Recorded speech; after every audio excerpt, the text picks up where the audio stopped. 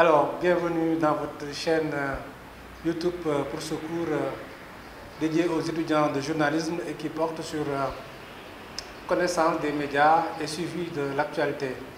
Je vous présente, je suis Abdurrahman Beng, je suis journaliste depuis plusieurs années et donc je suis en charge de secours destiné aux étudiants de deuxième année intitulé Connaissance des médias et suivi de l'actualité.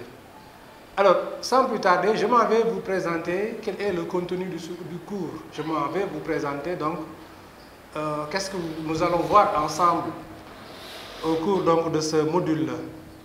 Alors, euh, connaissance des médias, cela veut dire quoi, connaissance des médias? La connaissance des médias implique en fait la connaissance des différents types de médias.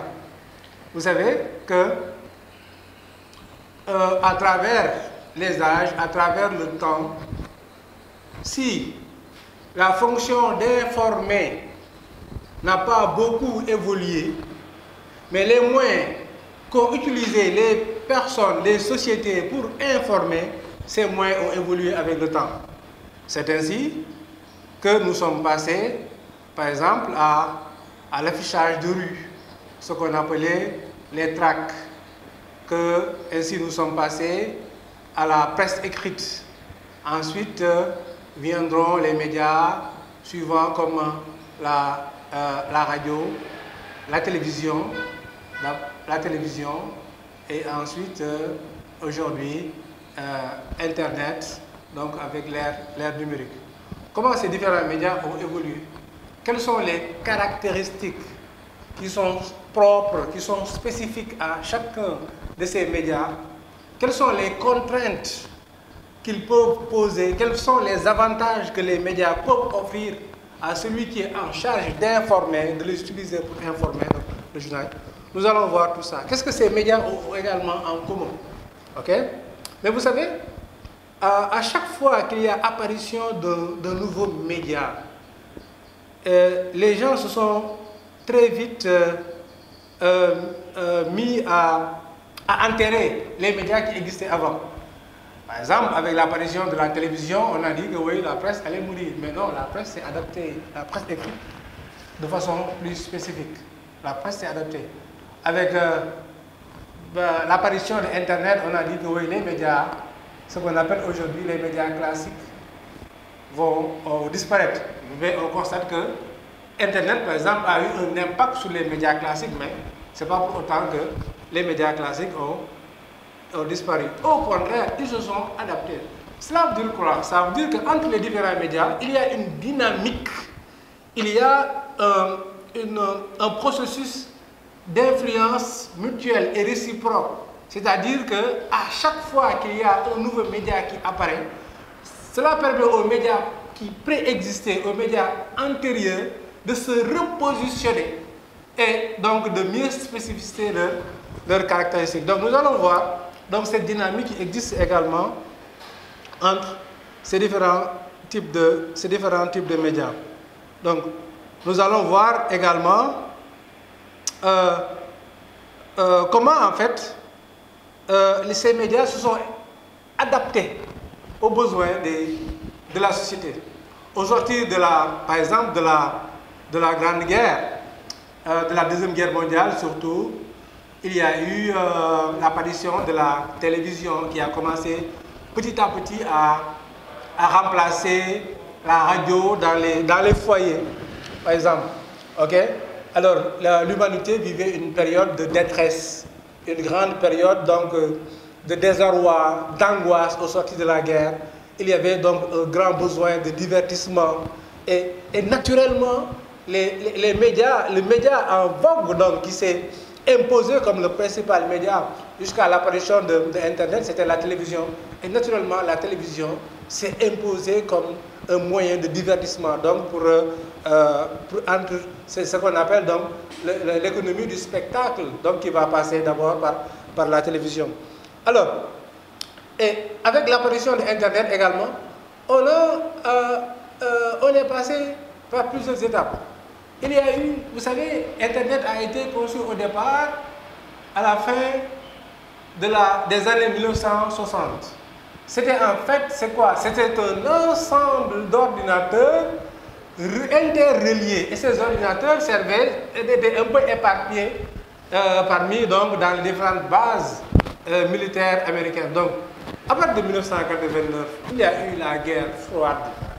Il n'y avait plus cet enjeu géostratégique euh, aussi important.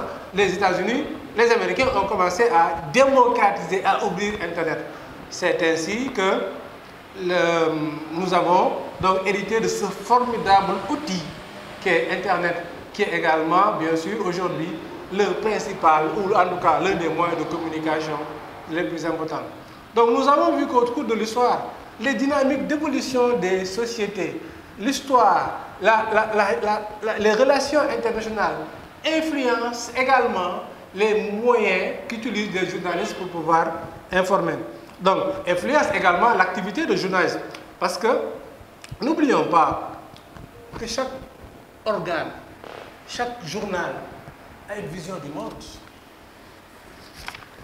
Cette vision du monde-là, c'est ça qu'on appelle la ligne éditoriale du journal. Quand vous allez dans les pays démocratiques, où il y a des idéologies très marquées, surtout à l'époque euh, de la guerre froide, où on avait par exemple euh, les communistes, les socialistes, les libéraux, démocrates, etc. Chacun a eu un journal d'obédience, par exemple. Chaque, Et chaque journal avait sa façon de voir le monde. Et c'est ce qui est en cours jusqu'à présent. Chaque journal a sa propre ligne éditoriale, sa façon de voir le monde. Et cette façon de voir le monde, ce qu'on appelle cette ligne éditoriale-là, a un impact direct sur la manière de traiter l'actualité. Vous verrez qu'un journal comme Wolfadji ne traitera pas l'actualité de la même manière qu'un organe de presse comme la RTS, etc. Parce qu'ils n'ont pas la même lecture. Ils font le même métier. Les journalistes sont soumis aux mêmes règles. Mais du fait d'une ligne éditoriale qui est différente d'un média à un autre, ils n'auront pas la même manière de traiter et de diffuser donc, diffuser donc l'information. Donc nous allons voir qu'en fait que les médias constituent un moyen autour desquels donc, se nouent plusieurs enjeux, à la fois des enjeux sociopolitiques, des enjeux culturels et des enjeux éco, des enjeux, des enjeux économiques. Et parlant également des enjeux économiques, nous allons voir que ces médias, en fait, se meuvent dans des entreprises qui sont parfois publiques et qui sont privées et qui, dans tous les cas, ont un devoir de rentabilité, surtout pour les entreprises privées. Nous allons voir, en fait, comment fonctionne l'économie des médias. Parce que la plupart des journaux, ici au Sénégal, sont dans une situation qui est assez compliquée, assez difficile, dans une situation économique qui est très, très, très précaire. Comment euh, ces médias vivent cela Comment cette situation économique assez difficile a impact sur l'activité de sur l'activité journalistique Comment les maisons de presse, les éditeurs, euh, que ce soit les éditeurs de presse en ligne, la télévision, quels mécanismes mettent-ils en jeu pour permettre à leur entreprise de presse, parce que c'est avant tout une entreprise de presse, de, subvenir, et de pouvoir, de faire en sorte que l'activité euh, journalistique soit une activité qui soit économiquement, économiquement rentable.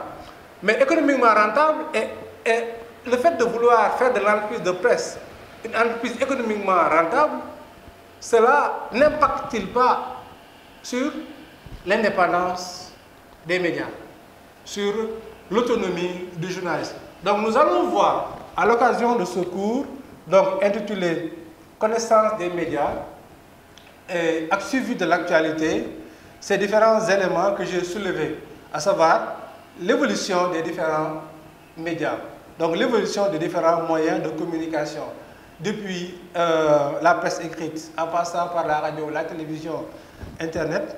Nous allons voir également comment ces médias-là sont au cœur d'une dynamique historique, c'est-à-dire d'une dynamique d'évolution. Euh, et comment ces dynamiques d'évolution, à chaque fois, à chaque époque, répond à la fois à un besoin économique et à la fois à un besoin de la société. Nous allons voir également qu'à chaque fois qu'il y a une apparition de, de, nouveaux médias dans le temps, les médias antérieurs, les médias qui existaient avant, les médias classiques se sont adaptés et ont proposé donc de nouveaux formats. Et au bout du compte, chaque média a sa spécificité et a ses caractéristiques. Ces médias également sont au cœur d'enjeux géostratégiques, politiques, économiques. Comment ces enjeux agissent et influencent la pratique du journalisme, comment les médias font face à l'actualité? Qu'ils sont censés eux-mêmes, qu'ils sont censés eux-mêmes publier, rendre compte, a aussi un retour, c'est comme un effet boomerang, a aussi un impact sur, sur, sur, sur, sur, eux. Prenons l'exemple de, la situation du moment que nous vivons ensemble. Tout le monde sait que c'est une situation qui est économiquement très difficile. Quelles sont les stratégies, quelles sont les méthodes euh, que les médias mettent en place pour pouvoir euh, survivre et donc surpasser, et surpasser donc cette crise?